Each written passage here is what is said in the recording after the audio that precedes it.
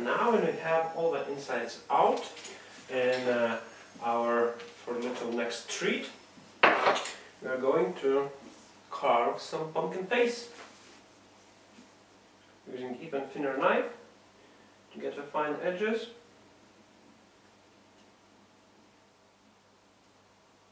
Let's start from the eyes. And as just as the last time, we're going to use some inter connecting cuts, incisions, trying not to make them too smooth right away.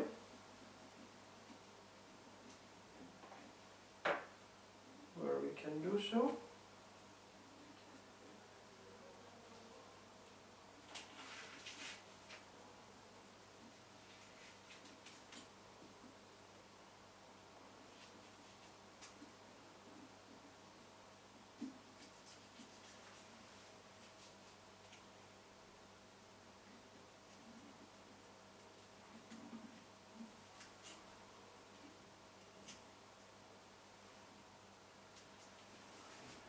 Our first eye.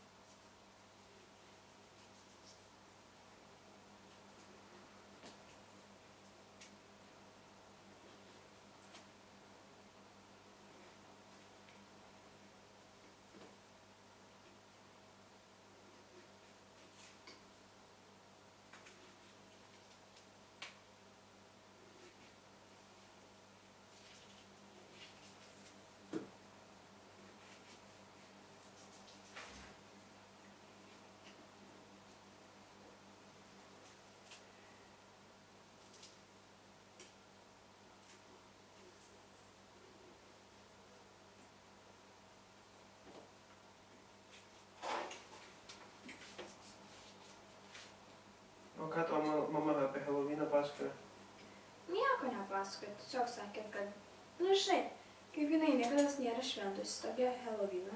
Ir Mhm. nežinau, kas tas yra. Pavyzdžiui, kai užsieniai jisai yra labai plačiai švenčiamas. Mhm. Ten jis sako, nesąmonė kažkokia, nes jinai, pasakiau, žinai, nes iki pirmos tą salę neišsakyta. Nu, man Mhm. mhm. to taip sakė. Sakau, iki pirmos salę užsakyta. Tai mama sako, nes nori, kad mes iki 12 valandos e, rytoj atstumėm plungį. Mhm. Ankstokai. Nu jo, jo. Nežinai, į kaimą reikės važiuoti. Nu, nes visi šventi, Mhm. į kapines, į kaimą. Tai žinai, ne kažkam. Tai jinai pradėjo pasakoti, kad čia nesąmonė, kam reiktų visokių Helovynų ir taip toliau geriau užsimiegoti. Taip toliau. Nu, žinai, mama.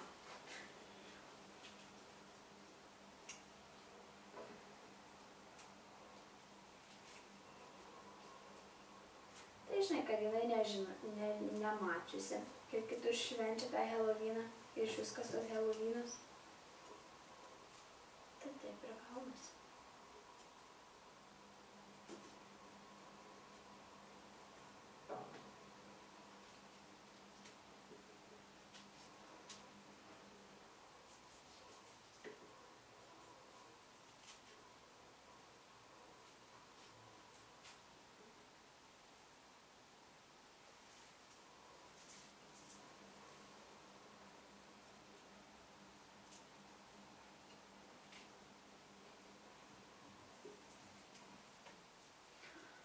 поболел.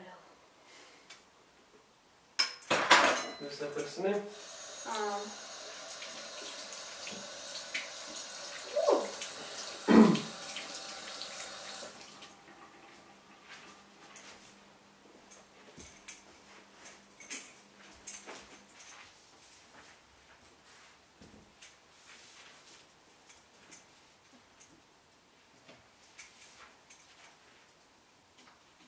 tas, kur sudžiūvęs, tai ten aš šonus biškiai apipjaučiau, nes ten, kur buvo labai sudžiūvęs, tai ten ne kažką.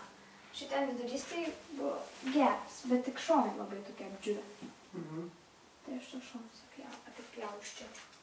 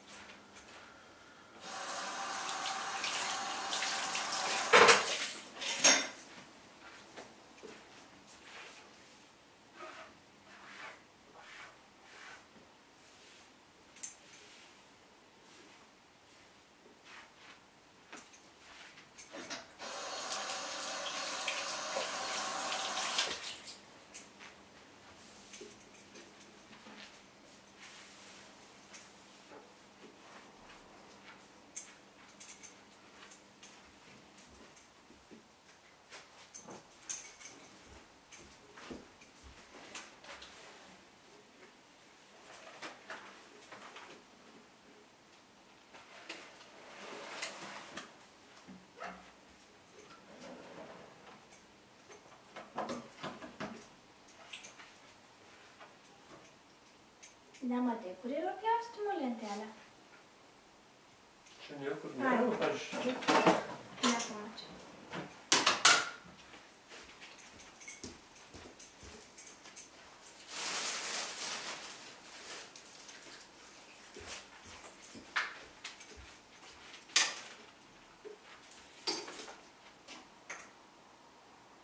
Tu gali šitą pasimti, šitą.